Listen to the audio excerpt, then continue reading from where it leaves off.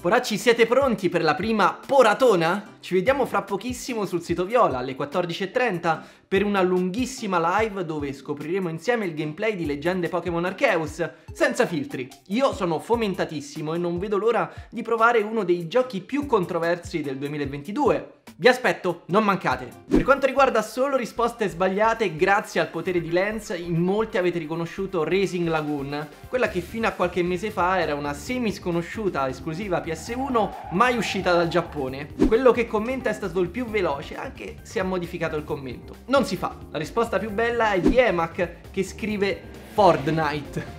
Semplice, essenziale e sbagliatissimo. Così mi piace. Va bene, andiamo avanti. Di che gioco si tratta? Solo risposte sbagliate. Sorprendetemi.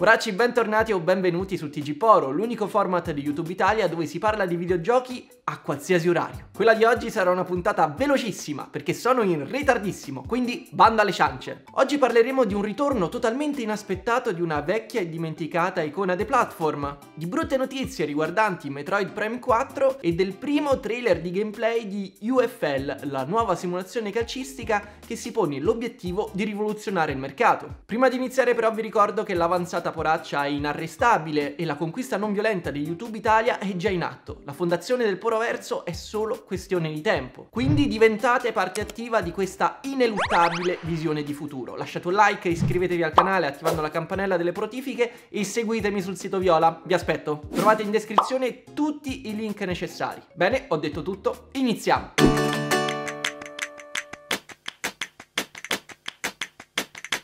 Bene, partiamo con qualche notizia al volo. Ieri, mentre eravamo impegnati a discutere sulle recensioni di Arcee, Guerrilla Games ha pubblicato il primo gameplay di Horizon Forbidden West nella sua versione per PlayStation 4. È molto apprezzabile lo sforzo di Guerrilla Games nel cercare di portare avanti con quanta più trasparenza possibile la comunicazione su questa importante produzione cross-generazionale. L'intento è chiaramente quello di evitare una situazione disastrosa alla Cyberpunk 2077 e dai primi risultati sembra che il team di sviluppo sia riuscito a confezionare una versione dalla resa grafica impressionante, nonostante qualche palese compromesso rispetto alla controparte next gen. La comunicazione è limpida, la versione PS4 non solo sarà una degna edizione, ma in più la conversione non ha limitato le potenzialità del titolo su PS5, che sulla piattaforma più recente riuscirà a dare il meglio di sé. C'è solo un piccolo dubbio. Le immagini mostrate sono state catturate su PS4 Pro la versione base di PlayStation 4. Come gira?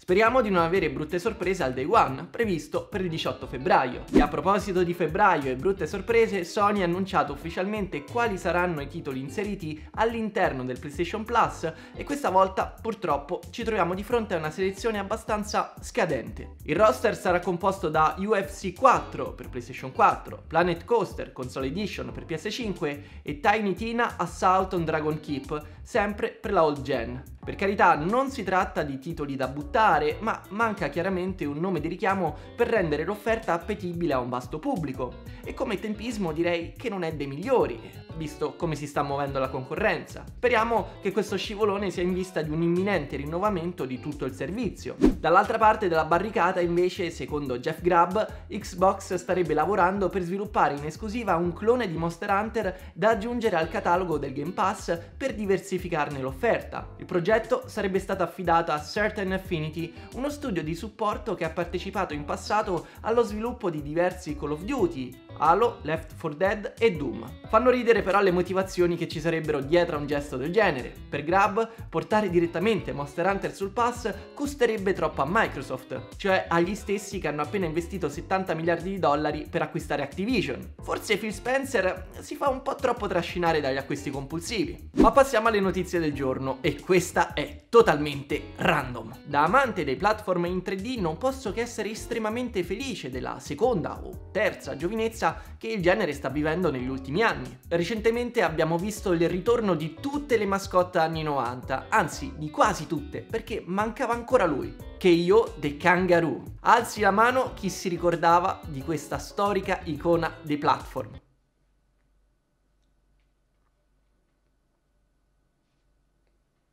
Nessuno? Ecco appunto, è proprio per questo che la notizia ha fatto molto scalpore quando Nintendo America ha deciso di ritwittarla dal suo account, un profilo che solitamente viene utilizzato per pubblicizzare solo le produzioni di punta, e invece questo spazio è stato occupato da Keio the Kangaroo, icona latitante dal 2005 quando uscì in esclusiva PC Keio the Kangaroo Mystery of the Volcano, il terzo episodio di una serie che aveva visto i suoi albori nel 2000 su Dreamcast e PC. Io mi ricordo solo la copertina del secondo titolo che uscì anche per PS2, GameCube e Xbox, ma non ho mai giocato a questa produzione che a quanto pare fu considerata come discreta dalla critica. Ora la serie è pronta per ricominciare da zero con un reboot che sarà portato avanti da Tate Multimedia, lo studio polacco che si è occupato di tutti i precedenti titoli della serie. Il gioco uscirà quest'estate su tutte le piattaforme e che vi devo dire, sembra estremamente interessante, anche se la palette cromatica e l'art style ricordano un po' troppo da vicino vicino Crash Bandicoot.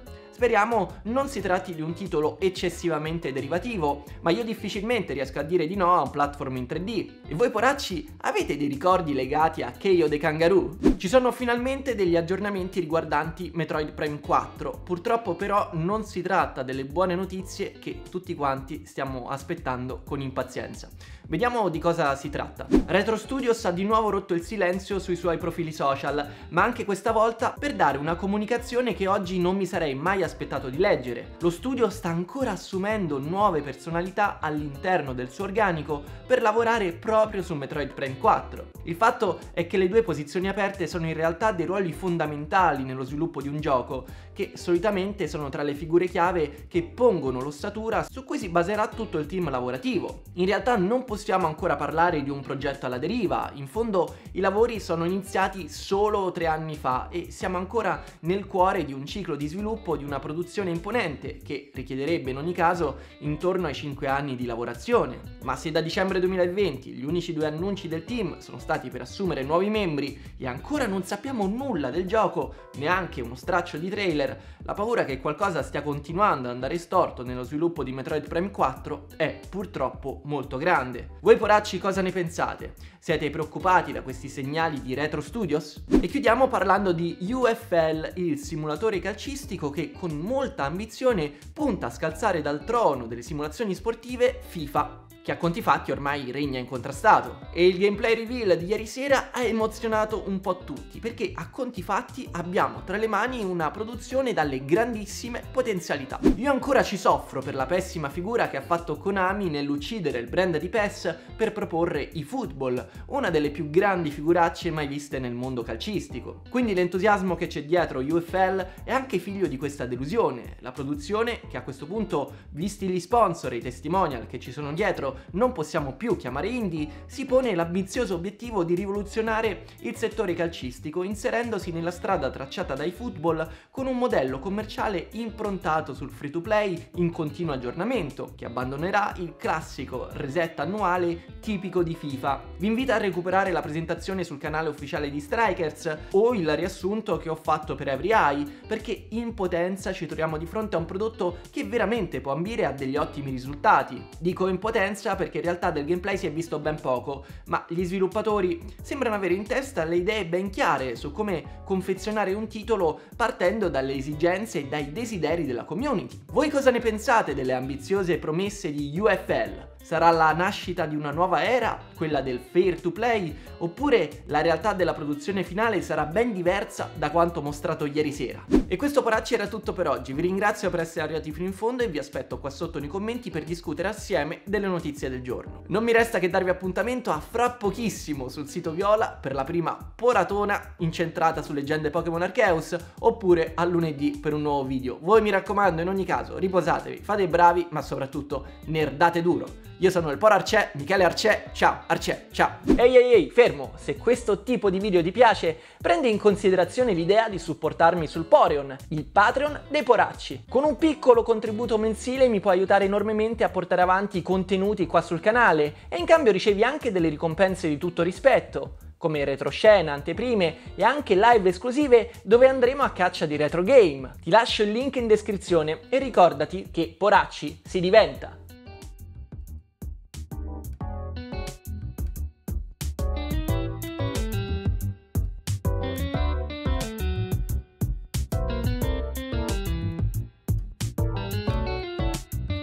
Questo poracci era tutto per oggi, vi ringrazio per essere arrivati fino in fondo